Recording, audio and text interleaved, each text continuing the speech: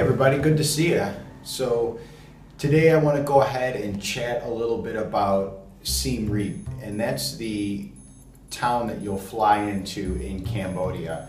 There's basically three major places that you can go to in Cambodia that are kind of uh, accommodating to tourists, and that's uh, Sihanoukville, which is far south on the uh, on the water, and then you've got Phnom Penh, which is kind of in the middle, and then you've got Siem Reap, which is a little farther north. Siem Reap is the more popular place for people to go because it's located just outside of Angkor Wat. And that's what everybody pretty much goes to see is Angkor Wat. And then they find out that there's Angkor Thom, and then there's Kbal Speen, uh, Kulen Mountain. So there's all these other attractions that you don't really hear about that are not as popular. So Siem Reap itself is pretty cool um, as far as being ethnic and cultural and that kind of thing. There is that still. Um, it is a Khmer, Khmer culture, if you will.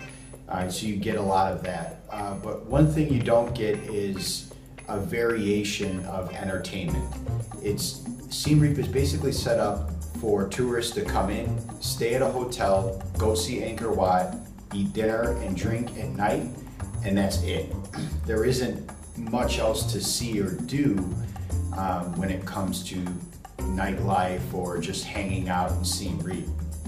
So keep that in mind when you go there is there aren't a whole lot of stuff like bowling alleys or even any just like a regular bar. You you really won't find uh, that in Reap. It, everything is really tailored to the tourist and just a few days in town and then get out.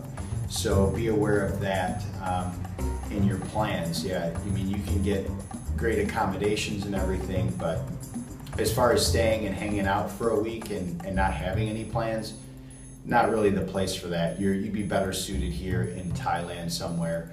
Uh, plus, Thailand is actually a lot less expensive, and I'll cover that in another video. But that's about my two minutes. Thanks again. I appreciate you guys tuning in. I really appreciate you subscribing and uh, comments below, like always. I'll see you tomorrow.